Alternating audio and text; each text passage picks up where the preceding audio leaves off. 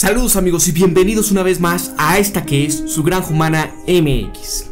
Bien, eh, la reflexión de hoy, lo que quisiera que pongamos sobre la mesa y que platiquemos un poquito es sobre una táctica de manipulación bastante bien orquestada y que desgraciadamente pues la gente a veces no se da cuenta de este juego de manipulación, de esta situación que vivimos, sobre esto que decía Nicolás de Maquiavelo, divide y vencerás. Pero ¿a qué voy con esto? Miren, el otro día estaba viendo un video en Facebook sobre un meeting de, ya sé que están hartos de la política, pero es nada más para iniciar con este ejemplo, ¿no?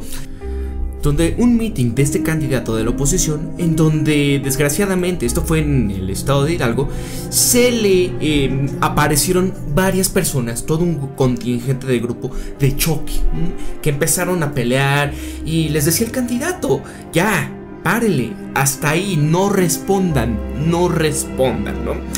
Y bueno, lo, comenté, comenté un poco de esto en mi muro sobre un poco este temor que yo tengo, que qué es lo que va a ocurrir el día 2 de julio después de que sean las elecciones, de que ya se sepa, pues concretamente quién va a ser el nuevo presidente, ¿no? Y lo que decía era algo así como que, pues qué miedo eh, que la polarización en la sociedad sea tal al grado en el que hay una incertidumbre total, en el que varios organismos han emitido alertas a sus ciudadanos de que eviten venir al país en este periodo postelectoral. ¿Por qué? Pues porque hay un grado de salvajismo tan cañón o bueno, tan grave en este país que lo que ustedes ven reflejado en redes sociales todo el tiempo, todo este gente, esta gente intolerante para con todo, ¿no? Eh, no está bien, que estés de ningún lado de, esto, ¿no? Ya seas un progresista, ya seas algún este, conservador o como te quieras catalogar, ¿no? Independientemente del lado en el que te encuentres, siempre vas a ser atacado. Y bueno, lo que yo estoy vislumbrando es que posiblemente en este periodo va a haber una incertidumbre en el que se va a volver a la realidad toda esta situación de las redes sociales, pues lo vamos a ver reflejado en una realidad. Y me comentaban ahí unos amigos, me decían, oye, mira, Aparte, su mensaje está súper condicionado. El cerebro no es capaz de distinguir entre sí o no, solo capta el contesten. En referencia, eso me decía un amigo, una amiga aquí en Facebook sobre lo que yo había comentado, ¿no? Ella pues no es seguidora de este personaje y ella me decía, ¿no? O sea, se, se refería a que él es un manipulador y que esto de contesten, pues en el colectivo general de no contesten, la gente lo interpreta como un contesten, eh, vamos al ataque, ¿no? Y decía, por eso ese tipo me desagrada, porque neta siento que es un buen manipulador, como todos los demás. En efecto, ¿no? Vivimos una sociedad polarizada, manipulada. Yo le contesté, le contesté esto, mira, para mí es el menos peor de las únicas opciones que nos dan a elegir. Al final solo queda sobrevivir en esto que tenemos de país y educar a la mejor manera posible a los más cercanos que tengamos, como familiares, amigos de verdad, porque solo la razón y la verdad serán lo único que puedan salvar este país o lo que queda de él. Algo de lo que es muy difícil encontrar hoy en día. ¿Saben? El síntoma de esta enfermedad social que tenemos hoy en día es la intolerancia y se disfraza de, se disfraza de muchas maneras. Desde un discurso fascista hasta el más progresista en orden de obligar a otros a alienarse a su propia agenda por parte de estos autodenominados luchadores sociales. Puedes mantener el poder sobre la gente mientras les des algo a cambio. Quítale todo a un hombre y ese hombre ya no estará más en tu poder. Aquí es en parte el discurso de la alternancia, es el cambio, eso es algo que le están dando. Los otros, es de referencia a los otros candidatos, pues ya han quitado toda luz de esperanza para las masas, es decir, le han quitado a estas personas algo y por ende ya no están bajo su poder, por eso lo perdieron, pero el sistema se las apaña para desde la disidencia controlada mantener todo, y pongo en mayúsculas, un orden aparente. En ese sentido, espero no decepcionarte, pero es posiblemente que sea inevitable que gane esta persona con la que no compaginas. Pero no por ello quiere decir que las cosas vayan a cambiar. Basta leer el estudio del Colmex sobre desigualdades 2018 y saber que ni la mejor administración va a poder cambiar tan siquiera un poco de esta situación en por lo menos unos 50 años. Y, es verdad, ¿no? O sea, estas clases de situaciones en las que divide y vencerás le han funcionado al sistema bastante bien. ¿Quién lo decía Nicolás de Maquiavelo? Divide y vencerás. ¿Y, ¿Y, cómo estamos hoy en día? ¿No? Todos estos videos, yo sé, y perdónenme por lo negativo que ha sido esta semana, pero había que decirlo. Había que poner el dedo en el renglón sobre la polaridad que tenemos, esta polarización social, tanto en redes sociales como en el mundo de verdad. Me he estado enfrascando en las últimas semanas en discusiones bastante absurdas con tal de defender mi libertad de expresión en las redes sociales, principalmente en Facebook. Y, bueno, la gente hasta me ha dicho, es que creí que eras más inteligente, ¿no? Y, y argumentos ad hominem que, que nada tienen que ver, no me dan un argumento el por qué piensan que, que soy, este, pues, poco de inteligencia de acuerdo a esto, ¿no? Porque yo doy mis argumentos, pero estas personas a veces, pues, no los dan, solamente porque me despego de esta política correcta que hay en todo el planeta que te dicen, si no estás con ellos, entonces eres alguien malvado, eres alguien que no piensa, intolerante o como quieran llamarla, ¿no? Y, la gente intolerante, pues es la que más ruido hace a veces, la que más eh, empieza como troll, empieza a atacar, empieza a dar argumentos despectivos, sin antes dar argumentos que en verdad eh, propician una discusión para llegar a consensos correctos para que todos mejoremos en esto. Y es por eso que el divide y vencerás es lo que premia nuestra sociedad hoy en día. También estaba viendo esto, esta película el día de ayer que se llama Cloud Atlas. Espero que la puedan ver, es de los hermanos Wachowski y es bastante buena, tiene bastantes mensajes y una frase que, que ya se las mencioné hace ratito es esta. Decía, puedes mantener el poder sobre la gente mientras le des algo a cambio. Quítale todo a un hombre y ese hombre ya no estará en tu poder. ¿Qué es lo que nos han dado desde siempre? Pan y circo. ¿Qué pasa en el momento en el que el Estado intenta u osa quitarle algo de estas eh, placeres a la gente?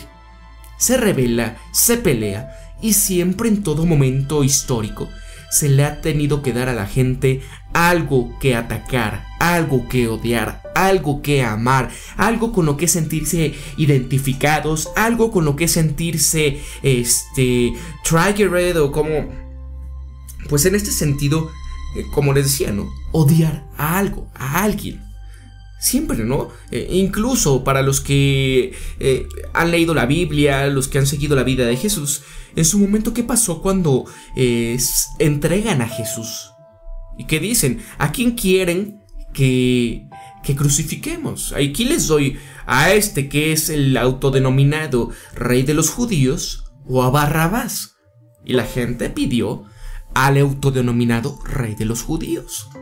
Precisamente porque esto les prendía a ellos, como alguien osaba decirse rey del pueblo autodenominado como el elegido de Dios, ¿no?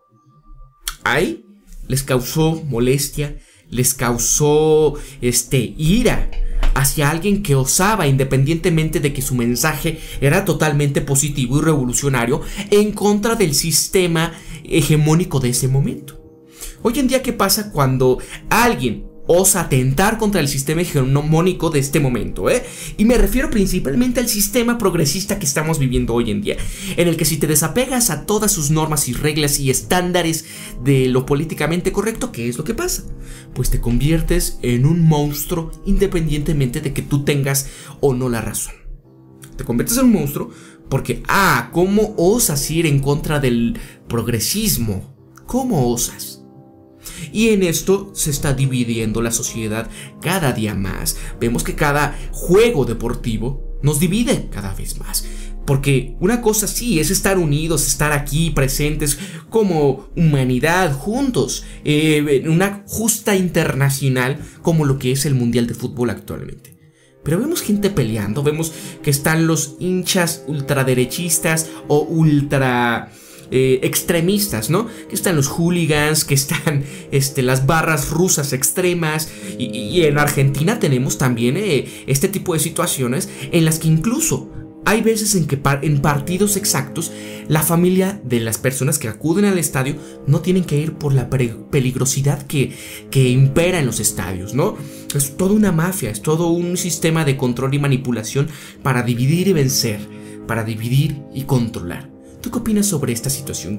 ¿Piensas que lo que estamos viviendo hoy en día, que la polaridad que estamos, disculpen, la polarización de nuestra sociedad es correcta?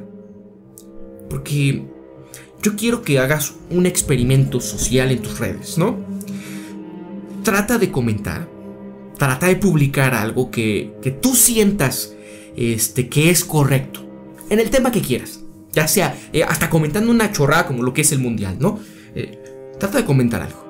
Como esto de, del hincha argentino que le dijo una niña de 15 años, este, una guarrada, algo machista, algo desgraciadamente desafortunado y que hoy en día en las sociedades de Latinoamérica y muchas partes del mundo vivimos aún bajo este yugo y ese estigma o arquetipo de una sociedad eh, pues machista, sexualizadora y objetivista hacia la mujer, ¿no? Y en ese sentido eh, vimos aquí también de, de los hinchas mexicanos como igual hacen exactamente lo mismo pero en masa con una mujer rusa. ¿Qué le dicen? La rusa va a probar el Chile Nacional, en referencia, ya saben que me refiero. Y este personaje argentino también le dice lo mismo, que vengan argentinos aquí, ya saben que, eh, ajá, ¿no? Entonces, en ese sentido, si puedes en eso, comenta qué opinas. Incluso tú puedes decir, ¿no? En el calor del fútbol, en el calor de la pasión, lo que quieras, ¿no? Comenta. Y vas a ver cómo va a lloverte. A alguien le vas a prender el, el foco, a alguien le vas a prender algo dentro de sí y te va a atacar. Intenta defenderte, no con argumentos, con todo lo que quieras, independientemente que sepas que estás equivocado. Pero en este experimento social que, que si logras realizar, si te avientas, no sé si tienes un rato libre, ¿no? Porque muchos trabajan, estudian, tienen familia, tienen cosas más interesantes que hacer. Pero si tienes el tiempo libre, intenta hacer eso, ¿no? Trata de comentar y defender un argumento, sea cual fuere. Y date cuenta cómo incluso puede que llegue el momento en el que pierdas alguna amistad en Facebook, ¿eh? Aunque simplemente sea un beat o represente bits en una red social, en un mundo virtual y que ni siquiera conozcas a estas personas, ¿no? Que ni siquiera la hayas visto en un año, en dos o, o en cinco años, ¿no? Pero puede que, que seas tan molesto al intentarte defender que vas a ver cómo esta polarización de la sociedad se ve reflejada en esta red social y cómo tus argumentos, por bien o mal que estén, al defenderlos, vas a hacer que alguien más se moleste tanto, que se cabre tanto, que incluso se te quieran denunciar el, argumento o lo que tú hayas puesto. Date cuenta, es, es para que veas, ¿no? Y en este sentido yo les digo, al final de todo, antes de que pierdan los que a todos se les desboque todo, que, que pase a ser algo agresivo, toda esta defensa de su argumento, díganle, ok, una disculpa, esto era un experimento social. Y me doy cuenta que lo que estás tú haciendo aquí es desgraciadamente con lo que tenemos que luchar. Porque esta polarización, ¿a quién sirve? ¿A quién le interesa que estemos divididos? Obviamente es una a los que ostentan el poder. Porque una vez que la sociedad esté dividida, es imposible que luche por realmente los derechos sociales, por la justicia social. Porque la mal llamada justicia social de hoy en día, pues se dedica a un fascismo disfrazado de luchadores sociales. se cuenta. Pero bueno, lo voy a dejar aquí. Y una disculpa si estoy siendo políticamente incorrecto. Yo solo les digo, defiendan lo que hay que defender de verdad. Defiendan lo que es justo. Y no estoy en contra de los derechos de la gente por su orientación sexual o por sus decisiones personales. No estoy jamás en contra de esto. Por el contrario, en ese sentido me siento un poco progresista al apoyar las luchas y las causas sociales, pero no cuando están siendo manipulados como muchas luchas hoy en día por el feminismo porque están siendo utilizadas para dividir y polarizar, porque no se está dando una mampara correcta a aquellas mujeres que han logrado grandes avances en la ciencia, en la política, en lo social.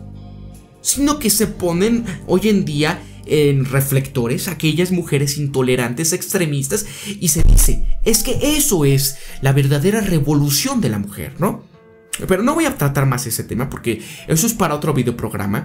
Y, y ahí sí les digo, o sea, es como a lo que les me refiero.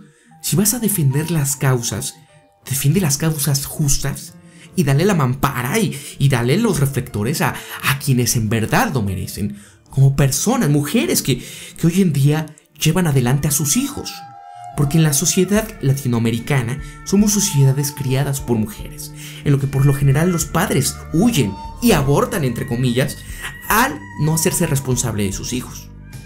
Esas mujeres son en verdaderas feministas, verdaderas mujeres que se superan y que son las que merecen los verdaderos reflectores, y no aquellas que se quitan el sostén y van por las calles pintando, destrozando. ¿Se dan cuenta cómo eso nada más polariza a la sociedad? ¿Se dan cuenta cómo otros movimientos de lucha social se han polarizado para dividirnos? ¿Se dan cuenta cómo utilizan hasta lo más estúpido como el fútbol para dividirnos? Date cuenta que cualquier argumento, y, y perdonen por ser repetitivo y por hacer este video más largo, ¿no? Pero pongan ese, ese ejemplo y ese ejercicio de experimento social en sus redes.